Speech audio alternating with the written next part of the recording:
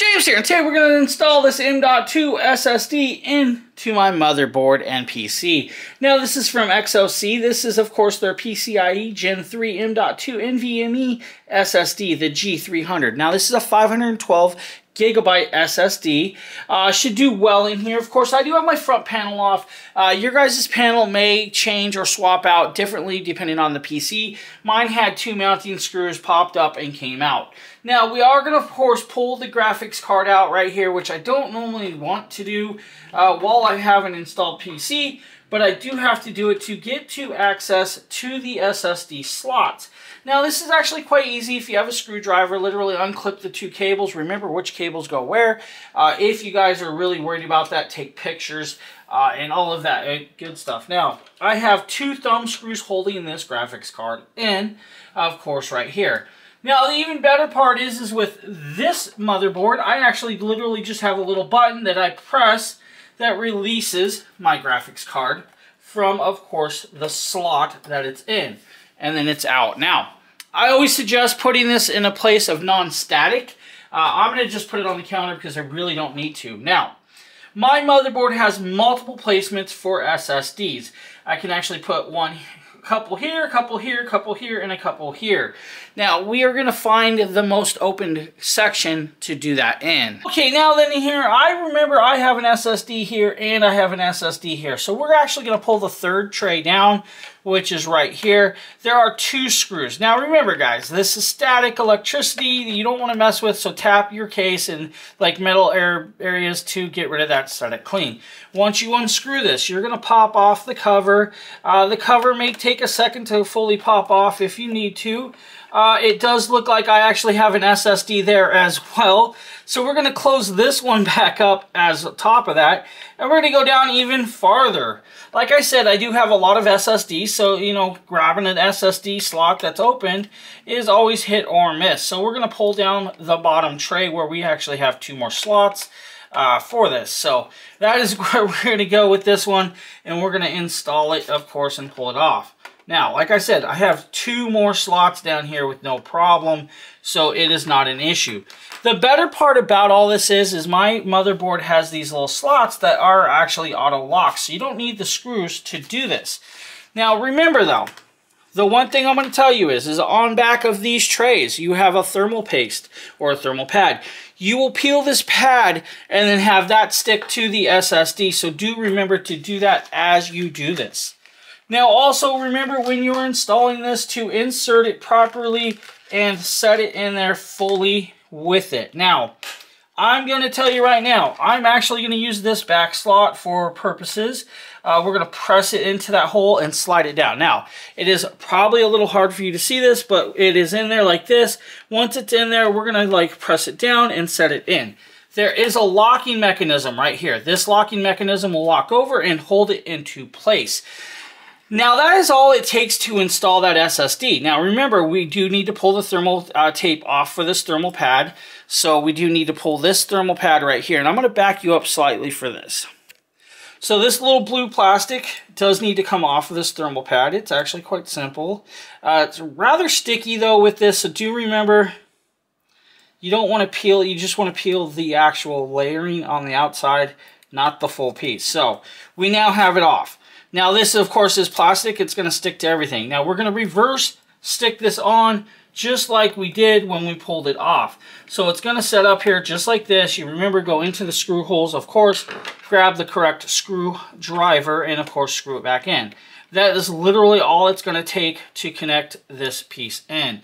Now, I do have one more open slot for an M.2. I do have a lot of M.2s in this because I do need a lot of hard drive space reverse everything you did, including the graphics card. So you're going to grab your graphics card, you're going to make sure that it lines up into the slot like you would expect perfectly well. It'll lock in place. You'll grab the two thumb screws. Now these thumb screws, of course, if I back out a little more, you'll see we'll go over here. The first one I'm going to do is, of course, the bottom one to set it in there just, you know, slightly loose.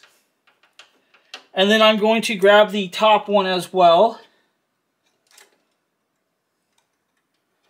and set that up. Now, of course, I did drop it. You could do this by hand if you needed to to pre-start it Now, I'm trying to record and do this at the same time, which I was trying to show you guys, you know, the purposes of videoing, uh, going in.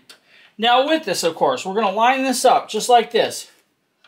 We're going to then tighten it up, of course, as we need. We're going to make sure everything lines up just perfectly well, and then we're going to reconnect our cables. Now, this is, of course, is a multi-pin connection, so do make sure that these connect cables are connected back up and in place perfectly well. You're then going to put your case back together and plug it in. Now, we're going to come back once we're plugged in and we're going to do a speed test on that SSD. Okay, now that we have the XOC installed and we're back on the PC, you guys see I have Crystal Disk Mark up. Now we're going to go into, of course, the SSD that we want, and we're going to find the proper one. And I do have multiple ones, but we're going to go down to Drive F, which is 477 gigabytes after install. Now remember, it is 512 gigabytes, but they always leave a little bit for other things and other purposes. Now we're going to click this.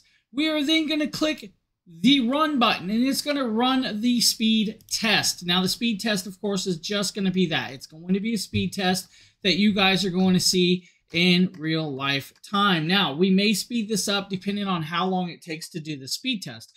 Right there is your first read write uh, read for it, 3,528, uh, which is not bad for megabytes per second. Now, it's going to go into the second read and write or read section, of course, with that as well.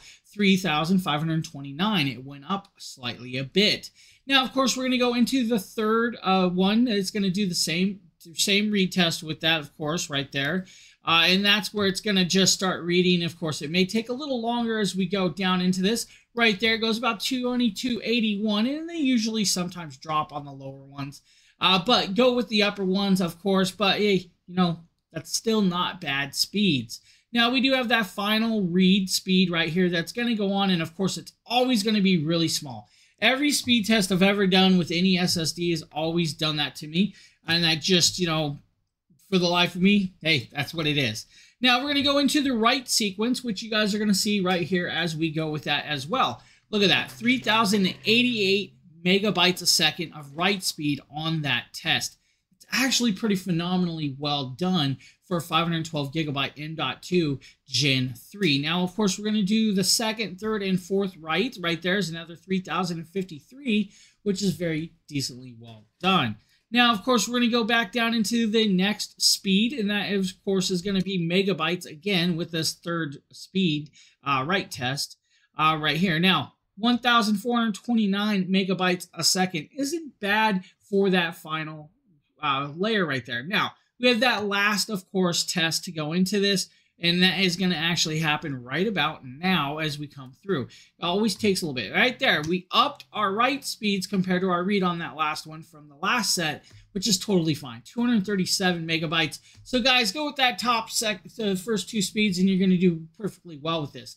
This XOC uh, G300 512 uh, gigabyte SSD is going to do pretty well for you guys. I want to thank you for watching and hope you guys have a great one.